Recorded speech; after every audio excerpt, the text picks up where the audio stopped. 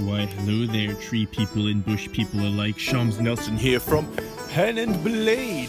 Pen and Blade. And in this episode of the Pirates Map Book, we're gonna be taking a look at Candlestick Island, and I couldn't find my brush pen, so I'm gonna wait to put in that, um, to write in that calligraphically. Uh, but it's part of the Diamond Island chain. And this episode is brought to you by uh, Sir Forty, my fellow pencil knight, for suggesting that we have um, tree people in one of the uh, Diamond Island chain, or the one of the Diamond, yeah, the Diamond Island chain islands. And the next episode will be brought to you by, ooh, I forgot the name, but it's gonna have Elven Knight. So let's take a quick preview of the Diamond Island chain, just to remember where we're at. So I think this one might be the first one, Vile Diamond Island. And so an island chain is going to be like a volcanic. There's like a volcano under the under the ground, and on top of it, the tectonic plates are moving, and the fire shooting up in this one spot. But as it moves, it creates mountains, and then the mountains create a chain. And if it's in the middle of the water and they poke up, it's like an island chain. It's like Hawaii and stuff. Deer Storm, Diamond Island. They won't necessarily be in this order. Um, Diamond Crown Island. I think this was my favorite ones. And Spirit Diamond Island. So this is the second to last, is Candlestick Island. Why Candlestick Island? Well, I feel like the more I live, the more I learn that there are exceptions to every rule. And I feel like it's gonna be a little more realistic if they don't have the word, all have the word diamond in it, but one or two have the a different name and it's just part of the Sat Island chain. Um, and these one is gonna be situated up. I forgot to bring a a thing, but we can use this. So this is gonna be like, see it's tall like that, and imagine all the other island chains are like over this way, choo, choo, choo. and you wanna travel from here to there, and this big tall island is in the way, you gotta either go around that way and that way. And that's gonna be important because down here in the south, let's start at the south, um, we got Crab Bear Strait, you see, and Death Crab Bay. This whole area, the southern area, is infested with uh, crab bears, and these are pretty much like dire bear sized like bear crabs so they're amphibious. They can go up in the forest or they can you know, they like to chill in the waters and they're pretty intelligent. And so they have like crab shells but they're bears something like that you know what i'm saying? Probably or crab claws and they can like cut your ship in half and they're really aggressive. So this isn't really um, this area isn't inhabited by humanoids. Very dangerous. And even if you want to sail over here to one of the other diamond islands you'd probably be best off to go south of Little Stick Island because if you travel through the Crab Bear Strait, you're asking for trouble. Um, even though the waters look calm and uh, appealing. So we're, let's now let's zoom up all the way to the top. We're going to talk about the tree people forest. All right, the tree people, like our treants, I guess, and they.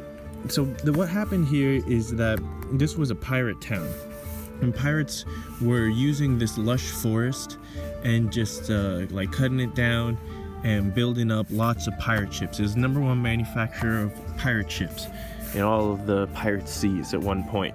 But the tree people didn't take kindly to all the deforestation. And this is called Free Arm River because they used to just throw all the wood on this river and it would just float down and whoever's at the bottom could just collect it.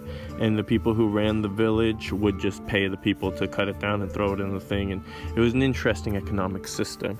But whoever collected it would profit from it. So it would attract a lot of entrepreneurial people or just workers who'd be like, okay, if I can take wood from here to here, I pretty much get free chopped wood and I can make a profit off of it and um, yeah but it worked out because they were selling their ships at a very high profit and other industry that was brought in by the town before.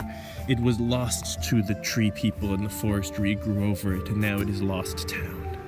And there's probably other little ghost towns all across this river especially around this area so that would be interesting there's also shipwreck sands to the south because there must have been many naval battles here, both of different pirate crews and, um, you know, like governments trying to take out this pirate town.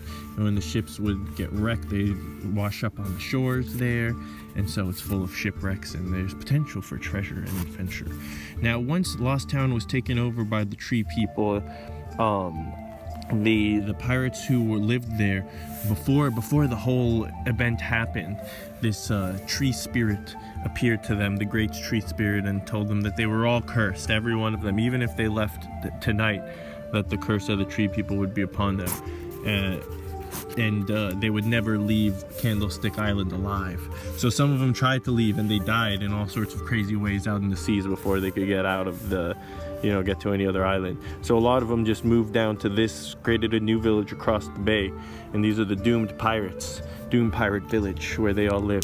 And I was actually gonna roll what, um, let's do that as a roll. This is gonna be the race and class of the leader of Doom Pirate Village. Let's see what that's gonna be here on our random region generator. So the race is the D10, that's a four. And then we got a five, so a human.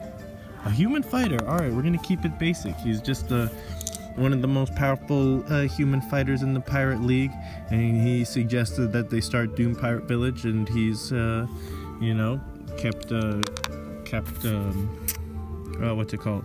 Dominion over its sense. So what is their deal? If people come to Doom Pirate Village, the pirates can't ever leave. I guess they want, uh, yeah, they want it. So maybe it's a party town because, you know, they're already doomed, so they might as well party and profit from it and stuff like that. I don't know. That's what I would think a pirate might do. What is this? Is this dirty? Oh man. Well, that's what happens to pirate map books sometimes. I hope you've enjoyed this. Um, and until next time, Peace, God bless, and stay fantastic, everyone.